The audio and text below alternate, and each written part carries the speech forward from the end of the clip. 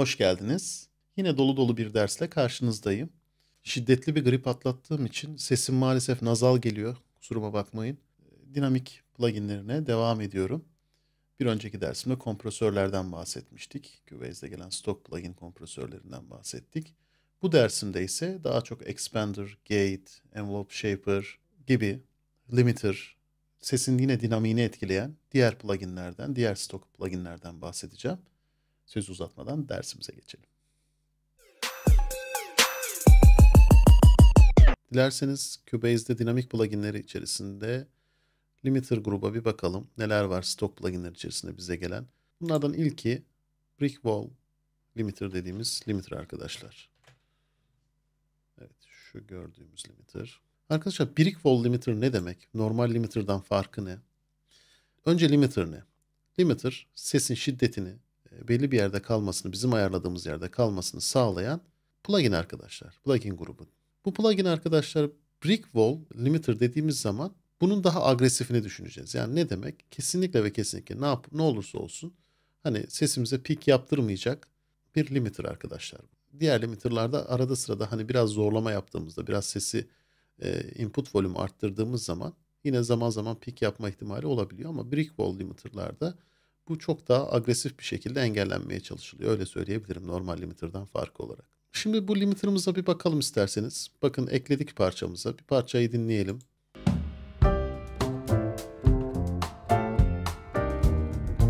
Bakın limiter output'umuz 3 eksi 3 dB'di arkadaşlar. Bu da e, demektir ki hani ses hiçbir zaman eksi 3 dB'nin üzerine çıkmayacak. Çıkarsa limiter'ımız devreye girip bunu redükte edecek.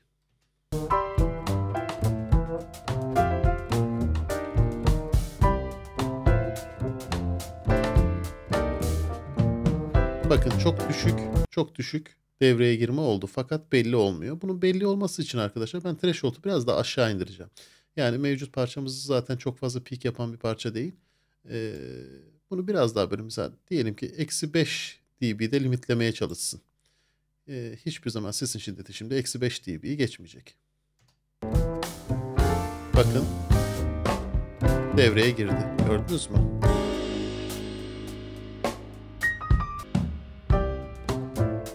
Çıkışa bakalım arkadaşlar.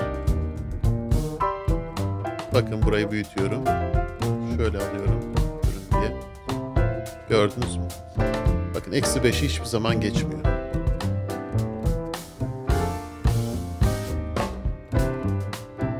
Limiter'ları kullanırken en son basamakta arkadaşlar. Insert'ün en son basamağına ekleriz. Öne kompresörler, equalizer'lar ekleriz. İşte gerekli e, elemanları ekledikten sonra limiter'da son ekleyip bu işi bu şekilde e, sesimizi limitlemeye çalışırız. Dilerseniz bu arayüzdeki durum e, neler var bir ona bakalım hızlıca. Threshold dediğimiz hani aynen kompresörlerdeki gibi işte ne kadar çıkışın olmasını istiyorsak output'u buradan ayarlıyoruz arkadaşlar.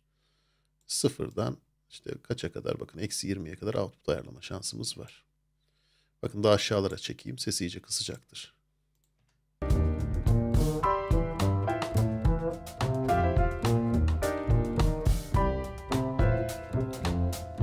Kadar çok üst e, üstlerden tıraşlamış oluyoruz ki bu sesi. E, sesin tabi dinamiğini ciddi derecede öldürmüş oluyoruz. Bir release kısmımız var. Limiter'ın ne zaman devreden kalkacağı. Burada bir link tuşumuz var. Bu link channels ne işe yarıyor? Şimdi e, limiter'ımız stereo. E, tabii ki mono kanallarda da kullanılabiliyor.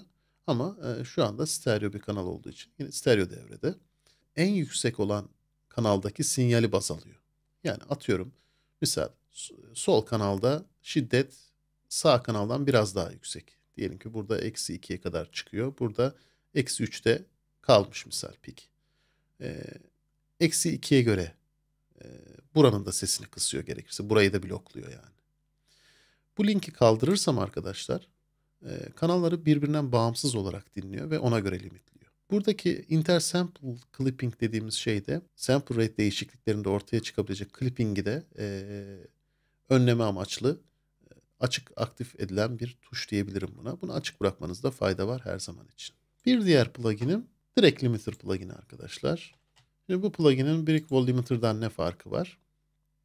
Burada Brick Wall Limiter'da görmediğimiz bir input kısmı var arkadaşlar. Bu input kısmının ne işe yaradığını size anlatmaya çalışacağım. Aslında giren sinyali yükselten bir kısım bu. İşte limiter basma terimi de aslında buradan geliyor.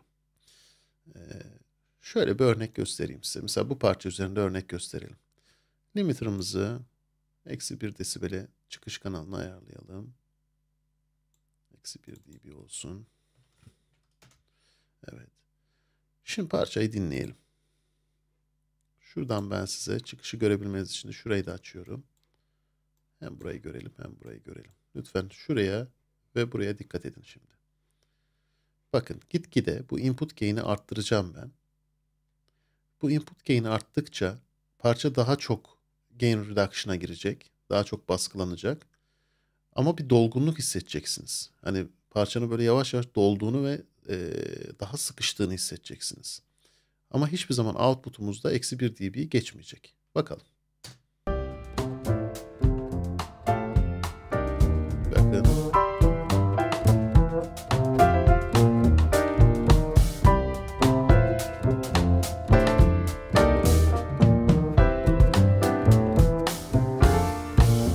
Kapatıyorum. Aradaki farkı duymanız için.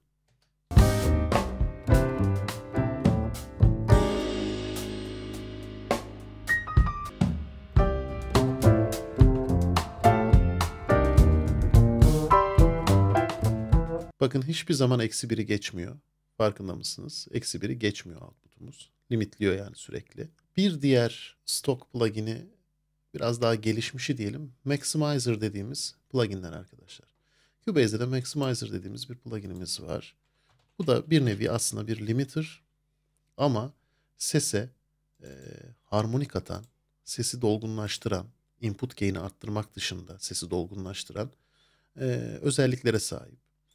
E, Cubase'in Maximizer'ı e, güncellendi. Hani bir önceki sürümlerden biraz daha yeni modern dediğimiz bir kısım eklendi buraya ki biraz daha agresif, hani biraz daha sesi daha dolduran bir bölüm e, eklendi. Bu EDM müzikler için falan kullanılabilmesi için.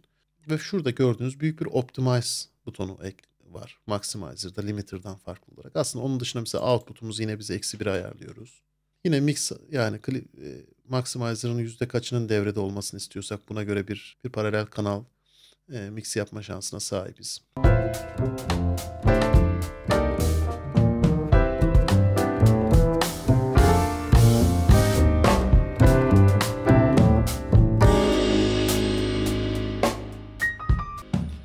Dinleyelim sesteki dolgunluğu. E, sese ekstra harmonik atıyor arkadaşlar.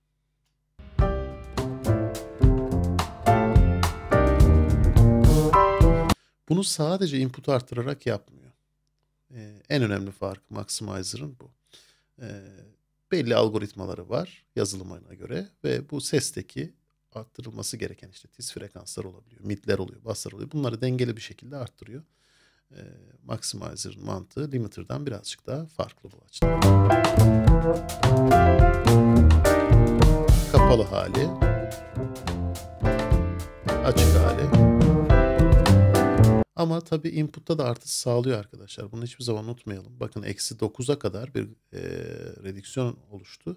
Aslında bunun sebebi bir nevi de sesi dolduruyor olması. Input'u da bir miktar arttırıyor muhtemelen.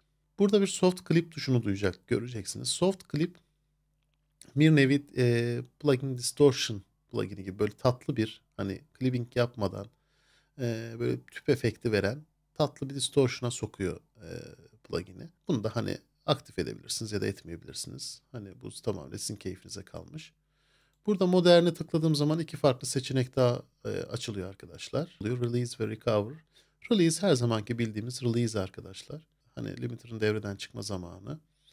Recover ise e, hani bir nevi atak gibi düşünebiliriz.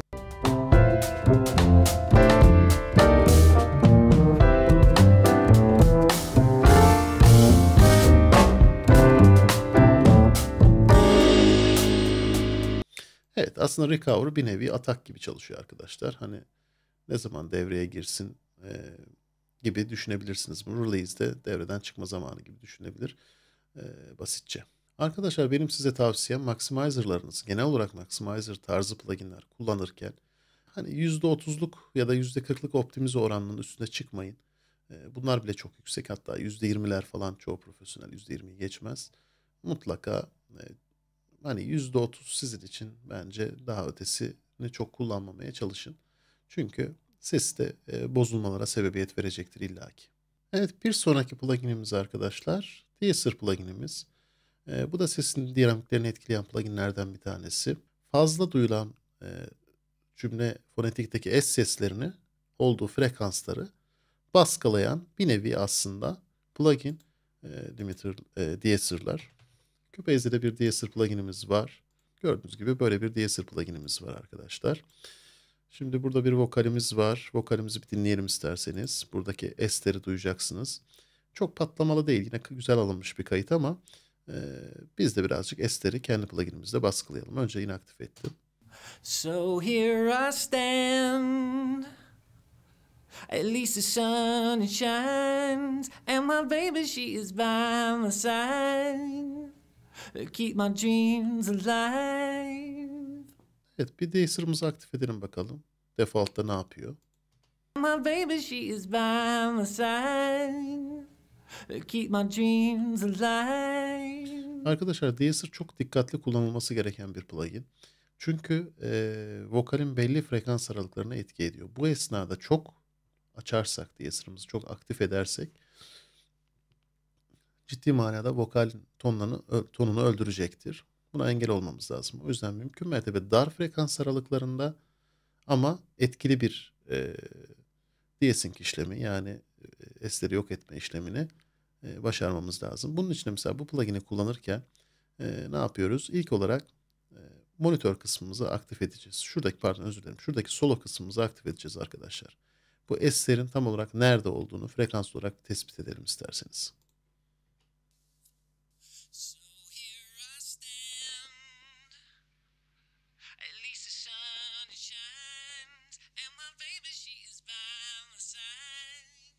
Burayı biraz daraltacağım. Bakın şuradan daraltıyoruz.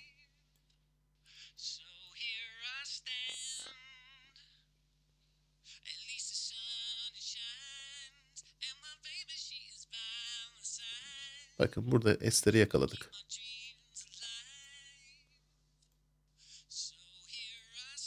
Duydunuz. Şimdi soloyu kaldıralım ve dinleyelim. So here I stand At least the sun shines, and my baby she is by my side. Keep my dreams alive. So here I stand. Gördüğünüz gibi çok yumuşak bir desync oldu arkadaşlar. İşte deesser'ımızı bu şekilde kullanacağız. Uygun frekansı önce eslerin nerede patladığını bulacağız ve bu kısmı kompres etmesi için e, deesser'ımızı aktif hale getireceğiz. Burada solo button'ımız var. Burada low ve high frekansların limitlerini ayarlıyoruz. Yani burada 4000 kHz 8000 kHz arasına bakıyor. Bakın çizgiyi çekti buradan zaten. Bu bölgelere müdahale ediyor sadece. Bunu daraltıp e, azalıp çoğaltma şeyi bize kalmış durumda. E, bunlar vokalin parlaklığı, mikrofon parlaklığı birçok vokalin S'leri e, vurgulamasına göre birçok şekilde e, değişecektir buradaki dinamik kısımda ne kadar reduction olacağını bakın bize şey yapıyor, gösteriyor. Bunu çok arttırırsak sesteki o kısılmayı görürüz ve duyarız. Bunu istemiyoruz hiçbir zaman. O yüzden yumuşak arkadaşlar. Bu threshold kısmının auto'da kalmasında fayda var arkadaşlar. Cubase plugin için söylüyorum. Bunu zaten başarıyla çünkü yapıyor. Threshold'u bizim ayarlamamız gerekmeyecek. Ee, release kısmı da yine e, Deezer'ın ne kadar zamanda kalkacağı desync işlemine başladı. Ne kadar zamanda devreden çıkacağı. Yani kompresördeki release ile aynı şey. Burada bir sidechain bölümümüz var. Bu sidechain bölümü ise sesin başka bir frekans aralığını dinleyip ona göre desync'i aktif ediyor ya da etmiyor. Deesser pluginimiz de bu şekilde arkadaşlar. Bir diğer pluginimiz ise arkadaşlar Gate plugini. Ee, Gate nedir? Ee, yine bir dinamik plugin bu. Gate arkadaşlar ses şiddeti eşik seviyenin belli bir seviyenin altına düştükten sonra sesi tamamıyla kesen, tamamıyla e, kapatmaya çalışan bir nevi bir e, anahtar gibi düşünün. Bir geçit zaten geçitten alıyor e, kendini. Ses ya geçecek ya geçmeyecek. Buradan ismini alan bir e, plugin diyeyim. E, gate plugin'i. Cubase'in de kendine ait bir gate plugin'i var arkadaşlar. Dilerseniz bunu bir devreye sokalım.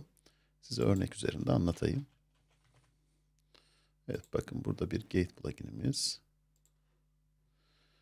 mevcut. Evet arayüzü böyle.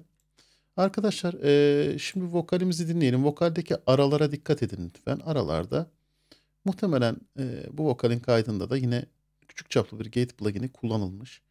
Fakat yine de o nefes geçişleri ve şeyler şu an e, rahatlıkla duyulabiliyor. E, ki zaten biz de normalde onları çok engellemememiz gerekiyor gate tarzı pluginlerle. E, bir dinleyelim isterseniz. Şimdi gate'i açınca ne gibi değişiklikler oluşturabileceğiz onu dinleyeceğiz. Özellikle şu ilk baş kısmına dikkat edin lütfen.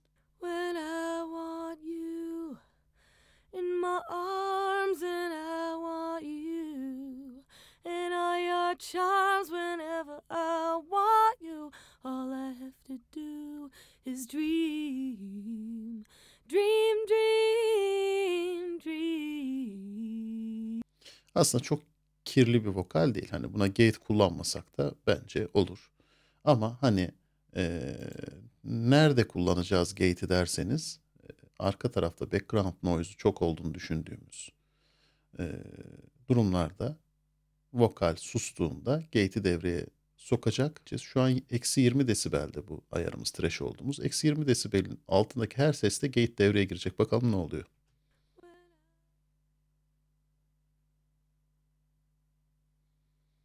Farkındaysanız vokalimizin sesi eksi 20 desibeli e, aşmadığı için gate sürekli devrede. Hiçbir şey duyurmuyor bize. Biraz bunu aşağıya doğru çekelim. Ki bize daha düşük sesler de devreye girsin. Bakalım şimdi ne olacak. Eksi 40 desibel. When I want you in my arms, and I want you in all your charms. Whenever I want you, all I have to do is dream, dream Farkındaysanız şu vokal aralarında bakın hemen şuraya bir bakın. Devreye girdi. Kırmızı da gate tamamıyla devrede. Ses sinyalini kapatmış oluyor. Sarı da ben geçiyorum hazır ol diyor. Ee, gate'i devreye sokmak üzereyim gibi bir şey oluyor. Öyle söyleyeyim size. Mix zincirinizde gate pluginini illaki bir yerinde kullanacaksınız. Bazen drumlarda kullanılır arkadaşlar. Drumların e, duyulmasını istemediğimiz mesela snare kaydediyorsunuz. Snare'de arka planda snare sesi dışında çok fazla bir şey duyulmasını istemezseniz e, gate pluginini kullanabilirsiniz. Fakat gate plugininin bir dezavantajı e, çok keskin olmasıdır. Hani yani e, ani müdahale eder, ani kalkar ve bu da e, maalesef hani çok bizim istediğimiz böyle kulağa yansıyan şekildeki değişiklikler bizim istediğimiz şeyler değil. O yüzden bir sonrakinde de size anlatacağım Expander pluginini kullanacağız e, bu tarz durumlarda. Ama öncelikle hızlıca şu ayarlardan bir bahsedeyim. E, tek kısmı gate'imizin ne zaman devreye gireceği ile ilgili. Genelde bunlar çok hızlı ataklarda kullanılıyor. Hold, gate'de ne kadar tutacağını gösteren. Bu normalde çok e, gate pluginlerinin genelinde olmayan bir özellik. Fakat Cubase pluginlerinin birçoğunda hold e, var. E, yani bu plugin'i biraz daha ekstradan burada olan süre kadar açık tutuyor öyle söyleyeyim. Yani gate'i aktif tutuyor devreye girdikten sonra. Release'de gate'in ortadan e, gate'in sinyal tekrar threshold seviyesinin üzerine çıktığında e, ne kadar saniye sonra devreden çıkacağını gösteren şey. Yani hold ile release aslında birbiriyle bağlantılı çalışıyor diyebilirim. E, hold ataktan sonra tutan zaman release ise sinyal seviyesi kesildikten sonraki devreye girme gibi düşünebilirsiniz. Devreden çıkma gibi düşünebilirsiniz. E, burada bir peak ve RMS analizi var. E, arkadaşlar bu da kompresörlerde anlatmıştım size. E, sesin RMS'e göre mi yoksa peak'e göre mi gate'in devreye girip çıkacağını gösteren e, bir ayar. Burada önemli olan daha düşük transient seslerde RMS'i kullanmamız. Tam aksine peak seviyesi yüksek drumlarda misal daha böyle ani transientlerde, sert geçici transientlerde ise bunu peak bölümüne doğru çekmemiz daha doğru olacaktır. Burada bir range ayarımız var. Gate'in sesi ne kadar kapatacağını gösteren bir e, ayar. Yani şöyle bir şey de yapabiliyoruz. Misal diyelim ki gate devreye girsin istiyoruz. Fakat sesi tamamıyla da kıssın istemiyoruz. Bu durumda bu range'i birazcık açarız arkadaşlar. Mesela atıyorum e, eksi 40 desibelin altına girdiğinde e, gate'imiz devreye girsin. Ama mesela ne kadarlık bir seviyeye kadar düşürsün? Eksi 50 desibellik bir seviyenin e, seviye civarına düşürsün dersek buradan range'den bunu ayarlama şansına sahibiz. Bunu tabii ki bir gate plugin'inin mantığıyla kullanabilmek için sonsuzda yani eksi sonsuzda tutmak zorundayız ki tamamıyla sinyali kapatsın kessin. E, buradaki leave tuşu da yine e, look ahead'i e, tamamıyla kapatan daha önce kompresörler dersimde bahsettiğim look ahead özelliğini tamamıyla kapatan e, plugin'in gecikmesini minimalize eden bir e, seçenek. Şurada sidechain kısmımız var. Sidechain kısmımızda yine bir önceki pluginimde anlattığım gibi bizim e, bu bir external sidechain değil arkadaşlar. Yani sinyali dışarıdan alan bir sidechain değil. Yine sinyali içeriden alacak. Ama şurada ayarladığımız frekans neyse. Mesela atıyorum 500 Hz'i dinliyor sadece bu vokaldeki. 500 Hz'deki e, şiddete göre e, gate'i açık tutuyor ya da kapalı tutuyor. Gate plugin'i çok agresif bir plugin demiştim. Hani devrede devreye direkt girer, direkt çıkar ve bunu siz eğer belli etmişseniz, daha keskin kullanmışsanız e, mutlaka anlarsınız ve biz bunu genelde mixlerimizde istemeyiz. O yüzden e, mesela drumlarda, e, yine vokallerde gate plugin'i kullanacaksak bunu expander efektiyle yani gate'in yumuşatılmış haliyle diyeyim e, yapmak daha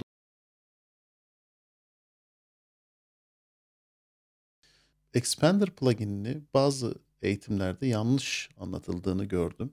Expander plugini arkadaşlar kompresörün tersi falan değil. Böyle bir mantık yok. Lütfen o noktada e, çok doğru bir yaklaşım değil Expander kompresörün. Yani sanki sinyal seviyesinin altına düştüğü zaman sesi kuvvetlendiriyor gibi falan böyle bir e, saçma açıklamalar olan e, şeyler oldu. E, videolar izledim birkaç yerde. Tabii ki böyle bir şey yok. Expander tamamıyla gate'in yumuşatılmışı. Yani sinyal seviyesinin altına girdiğinde ses o sesi daha yumuşak bir şekilde kısan bir nevi bir gate. Evet arayüzümüz benzer bir arayüz. Sanki daha çok bir kompresör arayüzüne benziyor. Belki de ondan e, karıştırılıyor oldukça. Mantığı aynı mantık. Gate ile aynı mantık arkadaşlar. Kompresörle değil. Bakalım.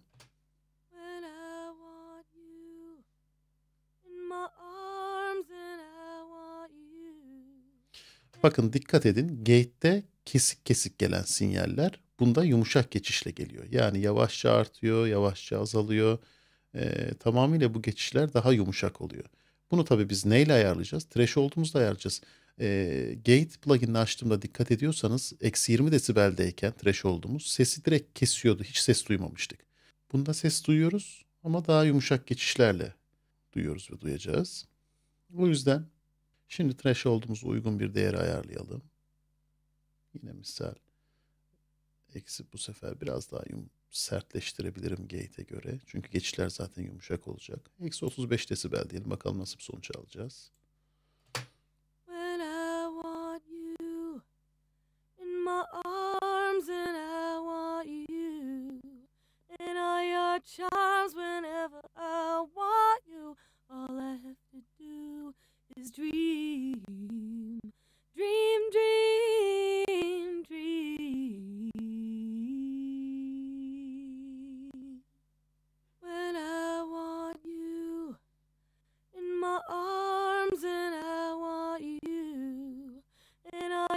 Charms whenever I want you, all I have to do is dream, dream, dream. Mesela bu vokal için fol ayarını birazcık arttıracağım. Fol ayarı dediğimiz ne arkadaşlar?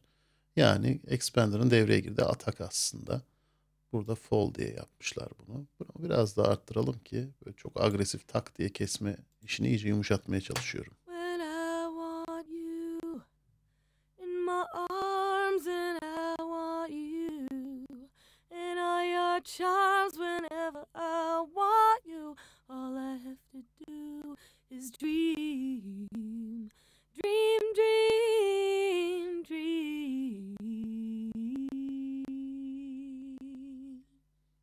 Çok temiz oldu.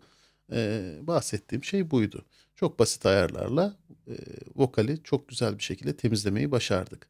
Hemen hızlıca ayarlardan bahsedeyim. Ratio Mantık aynı mantık. Ee, sesi keseceğim. Ne kadar sert keseyim, e, hangi oranda keseyim onu yap, ayarlamamızı sağlıyor. Hold yine etek devreye girdikten sonra ekstra tutacağı zaman bunu kapatabilirsiniz. Hold'u hiç kullanmayabilirsiniz ki ben genelde kullanmıyorum. Rise tamamıyla release ile aynı mantık. Devreden çıkma e, zamanı. Bakın 150 milisaniye olduğu için yumuşak girip çıkıyor gerçekten. Expander belki de e, gate'den ayıran en önemli özellikleri. Fall ve rise oranlarının gate'e göre daha serbest ve yumuşak olması. Analiz kısmı yine aynı. Peak ve RMS. Daha önce gate'de bahsettiğim gibi aynı mantıkla ayarlanacak. Soft knee'miz var. Bu da önemli bir button. Mutlaka aktif edin. Ee, expander mantığında aktif edin. Çünkü hani ratio'yu daha yumuşak dalgalarla. Bunu da kompresör dersimde anlatmıştım yine. Ee, ratio'yu daha yumuşak dalgalarla e, daha e, köşesiz diyeyim sesi kesiyor. Daha yumuşak bir şekilde kesiyor gibi e, söyleyebilirim. Öyle özetleyebilirim en azından. Expander bu şekilde. Arkadaşlar bir diğer pluginimiz de Multiband Expander. Aslında Expander'ın mantığının aynısı. Sadece bunu frekans aralıklarını seçebildiğimizi düşünün. Hemen bunu da şöyle hızlıca göstereceğim. Bu yine Cubase'in stock pluginler içerisinde gelen bir plugin. Bakın frekans aralıklarına göre ayarlanabilir gate bu aslında bir nevi. Yani e, sadece misal 100 Hz, burası neresi? 150 Hz'e kadar olan kısımdaki ses tonlarını kesebiliriz istersek. İstersek bakın 150 ile 5 kHz arasını hani bunları ayarlamamızı sağlayan her birinin her birini bir ayrı gate plugin, expander plugin'i gibi düşünebilirsiniz. Mantık o. Bunu nerede kullanabiliriz arkadaşlar? Bu plugin'i aslında daha çok birbiriyle çakışan, birbirinin üstüne binen enstrümanların e, belli frekanslarını kesmede kullanabiliriz. Yapabileceğimiz en güzel kullanım alanlarından bir tanesi bu. Arkadaşlar son iki anlatacağım pluginden bir tanesi Envelope Shaper dediğimiz plugin. Bu da bir dinamik plugini. E, ne demek Envelope Shaper? Sesin atak ve release'lerinde oynama ile fazlarındaki değişiklikle sese modülasyon sağlayan efektler bunlar. Aslında envelope shaper'lar bir nevi modülasyon efektleriydi ama hani e, sesin dinamiğiyle oynadığı için de Dynamics pluginleri içerisinde anlatmak istedim. E, şöyle hızlıca neler yapabildiğine bir bakalım. Snare ekleyeceğim envelope shaper'ı. Snare sesi ekleyeceğim. Bunu siz de kendiniz de mutlaka snare ve kick tonunu şekillendirmede kullanıyorsunuzdur. Önce bir kick snare sesimizi bir duyalım. Kapatalım pluginimizi.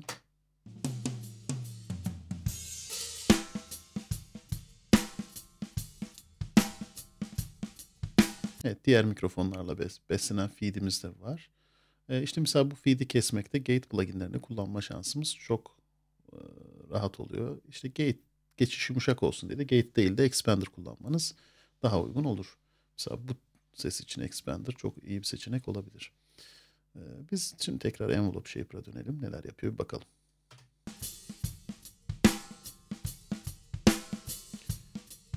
Şimdi özellikle e, Ramstein drama vurduğu andaki o ani yükselişi yani atağa dikkat edin arkadaşlar. Atak sesinde oynama yapacağım. Bakalım ne gibi değişiklikler yaratacak.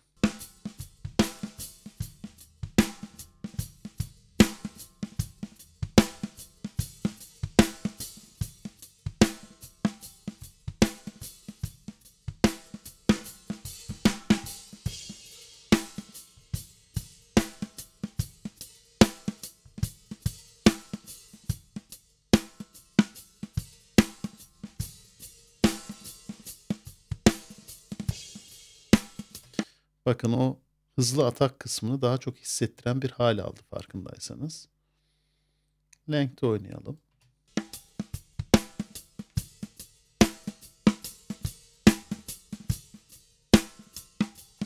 O atağın e,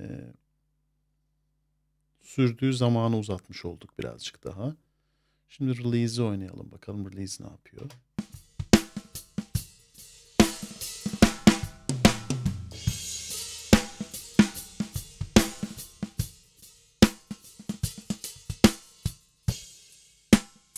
bambaşka bir snare haline döndü.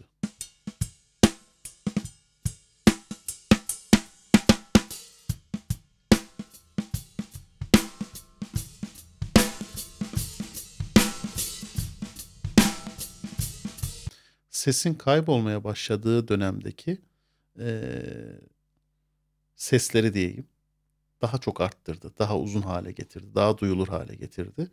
Tamamıyla e, ne yapıyor? Sesin dinamikleriyle oynayarak, sesin faz dinamikleriyle oynayarak belli noktaları daha duyulur, belli noktaları daha az duyulur hale getiriyor. Atağı kısalım bakalım. Atağı kısınca nasıl bir sonuç elde ediyoruz? Bir de onu duyun. Bakın gerçekten sesteki atağın gittiğini fark edeceksiniz. Release'i normal hale getirelim. Sesimiz buydu.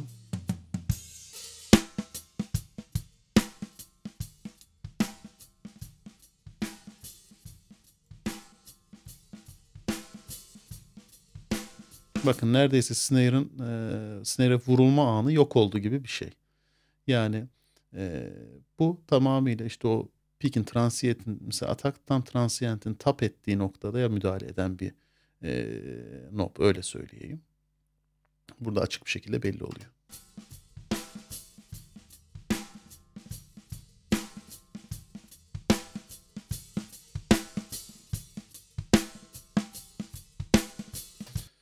Nerede işimize yarar? Çok yerde işimize yarar. Bunu herhalde herkes kullanıyordur yüksek ihtimalle.